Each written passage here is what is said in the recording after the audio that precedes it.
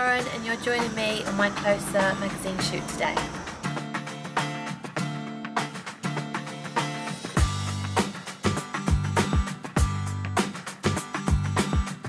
At the beginning of the day we started talking about body images and pictures of me horrible pap pics and uh, some of them were nice, some of them weren't so nice but just kind of talking about different stages, different times and what I was up to at the time, if I was exercising and stuff like that and or some of the pictures weren't very nice but there were a couple that were lovely in there.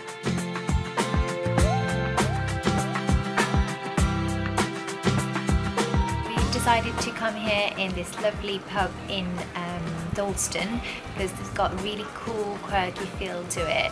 It's always nice to have a different vibe to a photo shoot.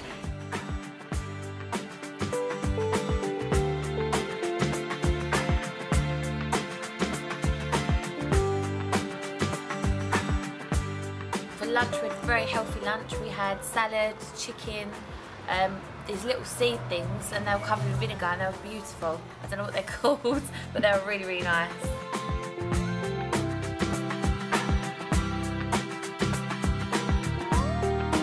We're copying basically the Beyonce cover from Vogue, the latest issue, where she's wearing a really cute crop top and a pencil skirt. So it's a little bit different, but still quite nice to show off the amazing body that Lauren has. Um, lip balm, which my dog Minnie has